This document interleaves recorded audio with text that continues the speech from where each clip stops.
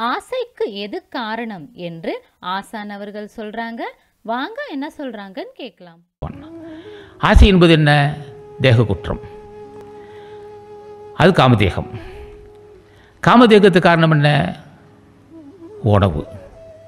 உணவுக்கு காரணம் என்ன? பசி. பசிக்கு காரணம் என்ன? மூச்சு காற்று இயக்கம். அப்போ ஒன்றை ஒன்று சார்ந்தே இருக்கும். அந்த காமதேகத்திற்கு அந்த காமதேகம் நீங்காமல் ஜோதியை காண முடியாது. அப்போ காமத்தை அறுக்க வேண்டும். அப்போ உடம்பை சுத்தப்படுத்த வேண்டும். உடம்பை சுத்தப்படுத்துவது என்ன? பட்டி கலந்தால் முடியுமா? பட்டி கலந்தால் இறந்து போவான். உணவு உண்டால் என்ன ஏற்படும்? காமம் வந்துவிடும்.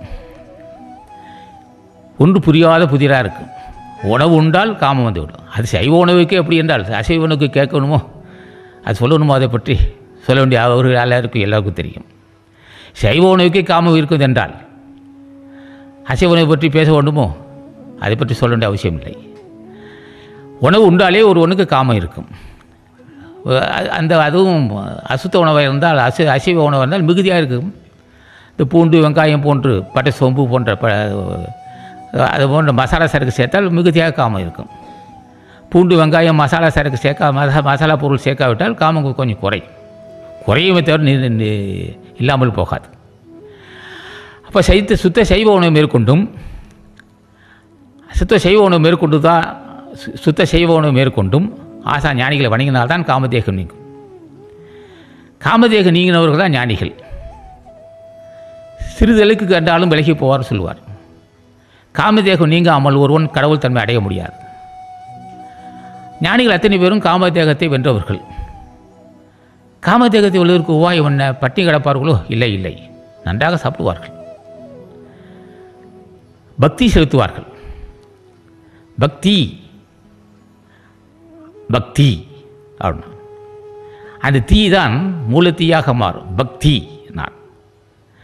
இப்போ ஞானிகள் எப்போ அது எல்லா இது- இந்த இதுக்கு மூல காரணம் யார்? அந்த தீ எழுப்பினவன் மூலாக்கணி எழுப்பியவன் யார்? முதல் முதல் தலைவன். அவர்தான் சுப்பிரமணியர். அவர்தான் இந்த ரகசியத்தை அறிந்தார். எல்லாம் உள்ள இயற்கை கடவுளே மனமிறங்கி நான் இது மனித உடம்பில் படைத்திருக்கிறேன். நான் உடம்பில் தங்கியிருக்கிறேன். ஆக அது சுத்தமும் அசுத்தமாக உள்ள இந்த தேகத்தில் சுத்தம் சுத்தமே மூல தீயாக மாறும். சுத்த தேகம் சத். சத்தும் அசத்துமாக இருக்கு இந்த உலகம். உட மனித மனித மனிதர்கள் அத்தனை பேரும் சத்து அசத்தாக இருக்கிறார்கள். அசத்தை நீக்கினால் சத்து தங்கிவிடும். சத்துவே மூலக்கடலாக தோன்றும். இந்த வாய்ப்பு நீ பெருமகனே என்று எல்லாம் வல்ல அருப்பெறிஞ்ச ஆண்டவர் ஆசான் சுப்பிரமணியருக்கு தான் உணர்த்தினார். சுப்பிரமணியருக்கு மட்டும் ஏன் நான் உணர்த்தினார் நான் ஆசானது அருளுரைகளை தொடர்ந்து கேட்க அரங்கர் டிவிக்கு லைக் பண்ணுங்க சப்ஸ்கிரைப் பண்ணுங்க மறக்காம பெல் பட்டனையும் கிளிக் பண்ணுங்க.